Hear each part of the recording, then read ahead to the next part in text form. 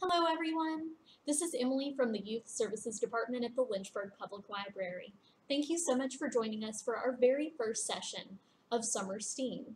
We will be posting a new Summer STEAM video every Thursday from today, June 11th, until Thursday, July 30th at 10.30 a.m. right here on our YouTube channel. We have so many awesome programs planned for you guys this summer. Be sure to check out our Facebook page and our website, lynchburgpubliclibrary.org, for more information and for a complete schedule of all of our exciting virtual events. Today's STEAM activity will combine science and art. We're going to learn more about heredity, genes, recessive and dominant traits, and more. Then we're going to apply that knowledge to create our very own baby aliens. Before we start today's STEAM activity, I have a small challenge for you guys. Are you watching this video with any members of your family? If so, I challenge you all to take a good look at each other. See what traits you have in common. Maybe you have the same eye color as your dad. Maybe you have the same hair color as your mom. What do you and your siblings have in common? This fun and simple activity is a great introduction to genetics. Now, we're going to build on that knowledge with our Baby Alien Generator project. Here is the list of materials you will need for this activity.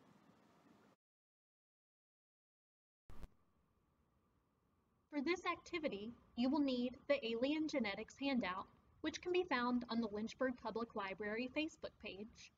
Two coins, it doesn't matter if they're pennies, nickels, dimes, quarters, or any other coin that has one side that's heads and one side that's tails, pencil, a piece of paper, and crayons, colored pencils, or markers. Now, let's review the key concepts for this STEAM activity.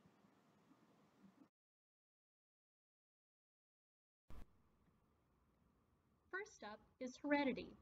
Heredity is the passing on of biological traits or characteristics from parents to their offspring or children through the inheritance of genes. Genes are the basic physical and functional unit of heredity. Genes are made up of DNA, which is the carrier of genetic information. Every person has two copies of each gene, one inherited from each parent. Most genes are the same in all people, but a small number of genes, less than 1% of the total, are slightly different between people. The genotype is the genetic constitution of an individual organism. The phenotype is the set of observable characteristics of an individual resulting from the interaction of its genotype with the environment. In other words, the phenotype is the physical or visible expression of the genotype. There are two types of traits, dominant traits and recessive traits. Dominant traits are traits that only require one copy of the same gene to show up as a phenotype or a visible trait. Recessive traits are traits that require two copies of the same gene to show up as a visible trait or phenotype. When an organism is heterozygous for a specific trait, that means it has a dissimilar pair of genes for that particular hereditary characteristic.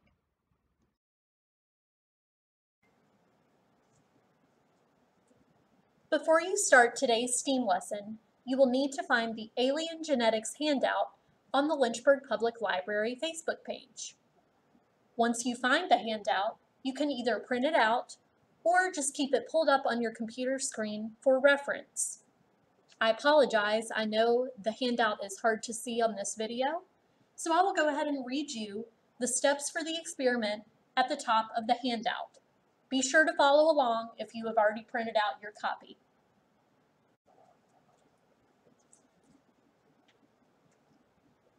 Alien Genetics. Make your own baby alien. For each of the below traits, you will flip two coins to determine what trait your baby alien will have. The two coins represent the parent aliens. one for Papa alien and one for Mama alien. Each parent is heterozygous for each trait, meaning that each parent has dissimilar pairs of genes for each hereditary characteristic.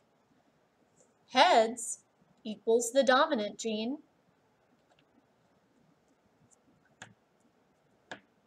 and tails equals the recessive gene. Remember that the dominant gene needs to show up only once to show up as the phenotype or the observable characteristic.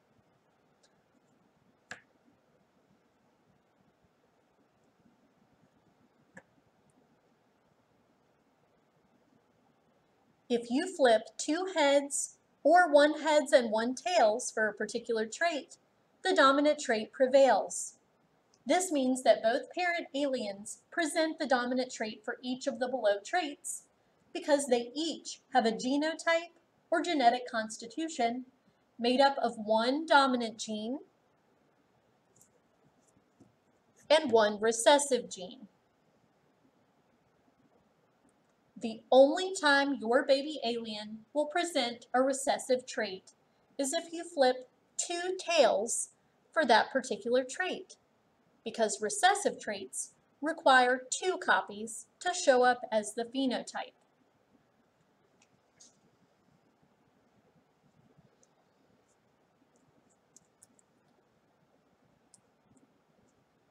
Before we begin officially flipping our coins for each of the below characteristics, let's do a test flip or two.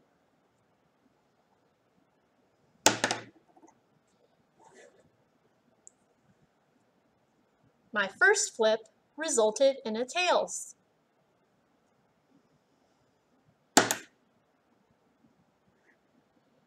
My second flip resulted in a heads.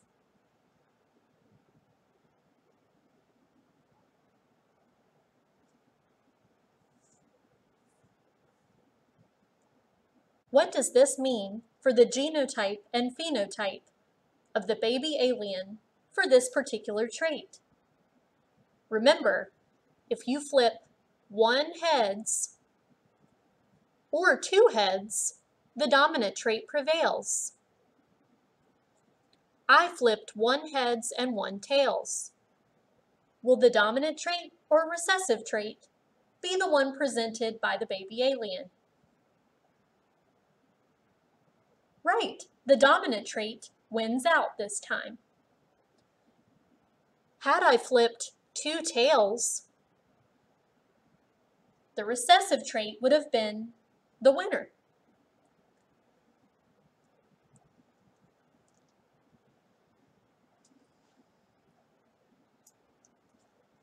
Let's take a look at the different traits we are flipping for for our baby aliens today. Eyes, nose, ears, mouth, arms, fingers, legs, toes, skin, and hair. That's 10 different characteristics that we're going to be flipping for.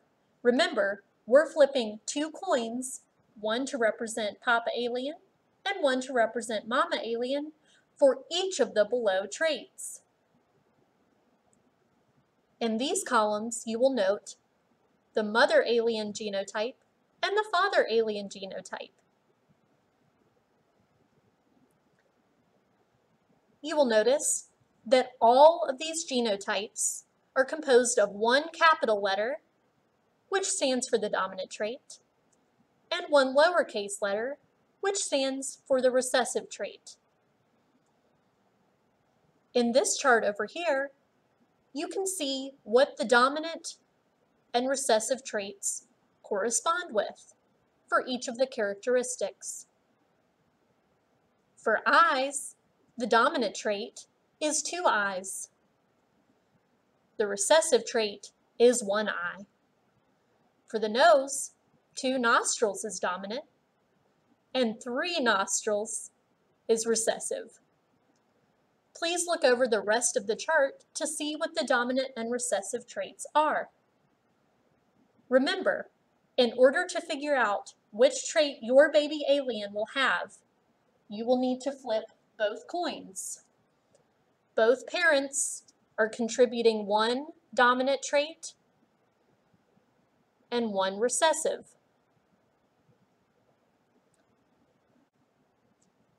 Let's go ahead and do our official coin toss for the first trait on our chart, eyes. Remember, as I am doing my coin flips, you should be doing your own, so your results will likely be different from mine.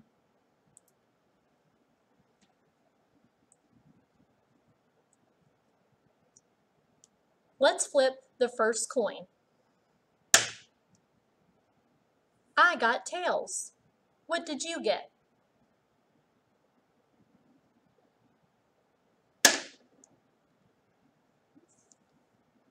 For my second coin toss, I got heads. What did you get?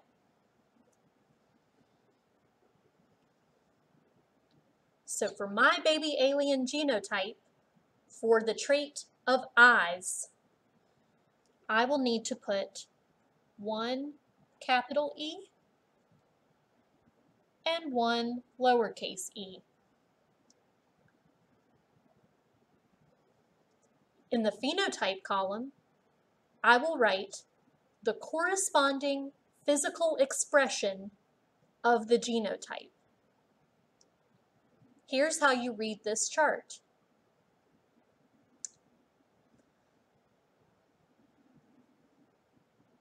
If you flip one heads and one tails, or two heads, you will select the dominant trait for your baby alien. Did anyone get two tails for eyes? If you did, you will need to select the recessive trait. I flipped one heads and one tails. So I will select the dominant trait, which is two eyes.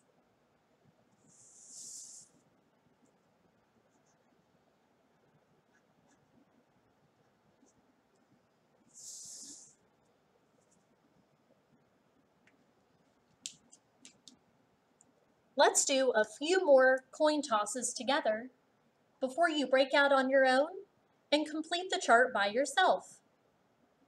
The next trait we are flipping for is nose, specifically the number of nostrils. Let's flip our first coin.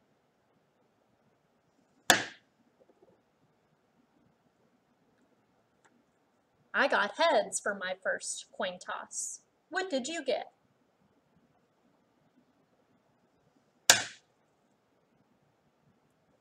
I got heads again my genotype is going to look a little different than my last one. So for nose, the letter we are using to represent the dominant and recessive genes is N. Now, I flipped two heads. So am I going to use two uppercase N's, one uppercase and one lowercase, or two lowercase? Right, two uppercase N's.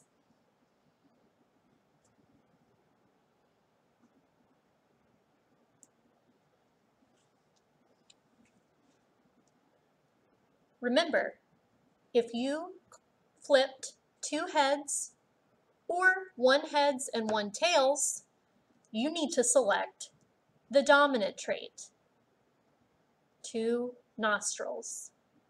I flipped two heads, so I will go with the dominant trait. If you happen to get two tails, then you will select the recessive trait, which in this case is three nostrils. My alien is going to have two nostrils.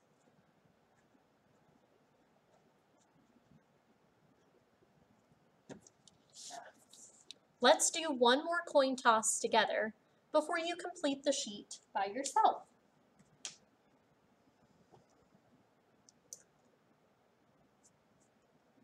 The next trait we are going to be flipping for is ears.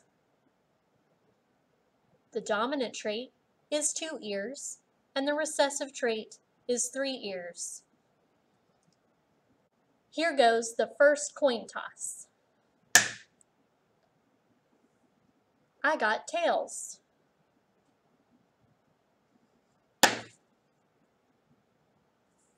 I got another tails. What does this mean for my baby alien's ears? Let's refer to our chart. If you flipped one heads and one tails, or two heads, your baby alien will have two ears, which is the dominant trait. If, like me, you flipped and got two tails, you will have the recessive trait for ears for your baby alien. In this case, that means three ears. Let's take a look at the genotype column. For ears, we are using the letter R, mostly because we've already used the letter E for eyes. Since I flipped two tails, will I be using one capital R and one lowercase? Two capital R's? Or two lowercase r's. Exactly. I will be using two lowercase r's.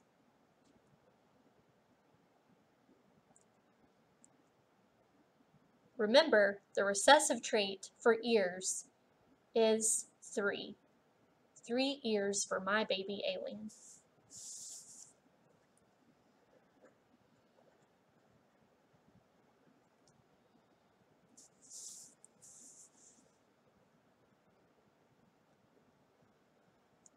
Go ahead and complete your handout by filling out all of the empty spots, including in the genotype column and the phenotype column for your baby alien.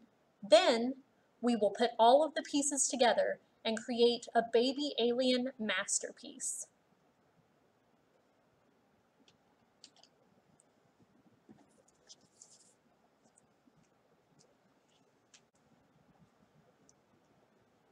Okay guys, as you can see, I have completed my handout. I flipped two coins for each of the traits on the chart, and these were my results. Let's take a look before I show you my drawing.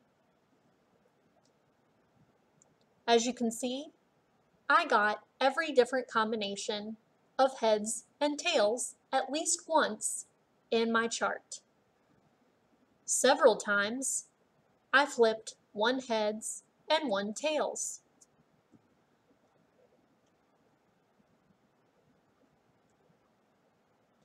In each of these instances, as you will recall, the dominant trait prevails if you flip at least one heads. A few times, I flipped two heads.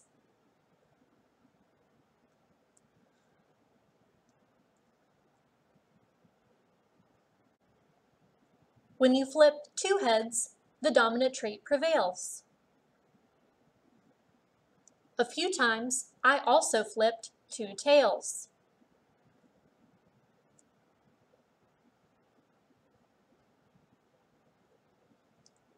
Let's see what phenotypes I got from my baby alien based on my coin tosses for each trait. My alien has two eyes, two nostrils, three ears, pointy teeth, two arms, five fingers per hand, two legs, three toes per foot. It is a solid color rather than a color with spots and my alien has hair on its head instead of being bald. What combination of traits did you get for your baby alien?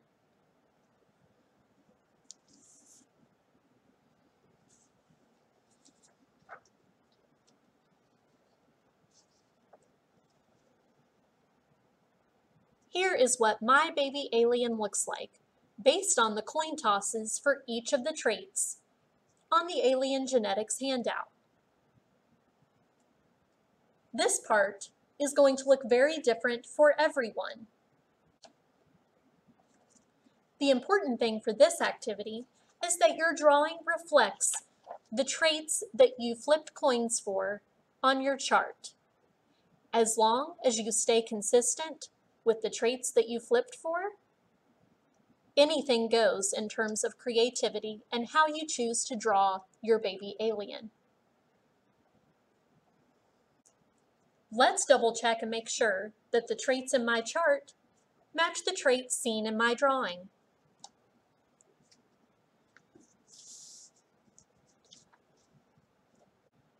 My baby alien should have two eyes, two nostrils, three ears, pointy teeth, two arms,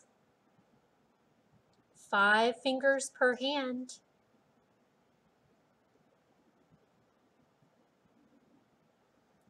two legs, three toes per foot. It should be a solid color and not have spots. And it should have hair on its head instead of being bald.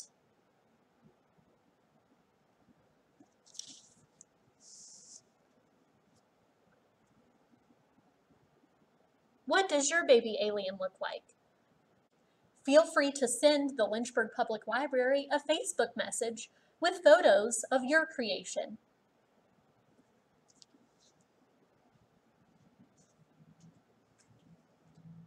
Thank you again for joining me for our very first virtual session of Summer STEAM. I hope that you enjoyed today's activity and that you will continue to tune in every Thursday at 10.30 a.m. until July 30th for more exciting STEAM videos. Next week, we're going to do a book stacking challenge. It's going to be really fun. Don't miss it, guys. And don't forget to check out our website and Facebook page for more awesome virtual programs. Thank you so much and take care. Bye.